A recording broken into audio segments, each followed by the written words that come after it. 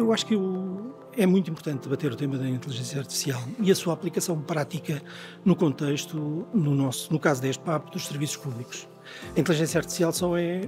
só, é, só tem valor se tiver aplicabilidade prática àquilo que é a capacidade das entidades públicas de melhorarem a sua prestação de serviço aos cidadãos e às empresas e melhorar assim a qualidade uh, da nossa vida como,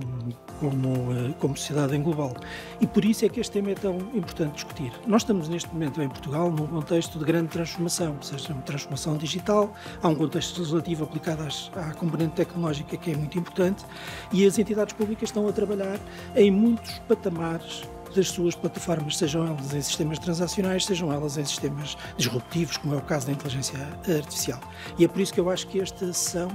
e dou os parabéns à Quidgest por isso, é muito atual e muito importante para muitas das decisões de investimento que as entidades públicas estão a tomar neste momento.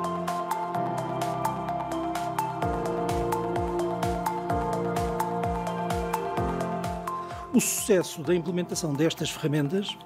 depende de várias coisas. Da capacidade que as entidades públicas têm de integrar estas soluções na sua estratégia de desenvolvimento tecnológico e organizacional no cumprimento da sua missão, porque isso é que é o fundamental, mas também depende da capacidade que eh, as empresas portuguesas, as empresas europeias, as empresas globais têm de gerar soluções tecnológicas que eh, possam fornecer serviços às entidades públicas e, por essa via, eh, novamente, melhorar a vida dos cidadãos das empresas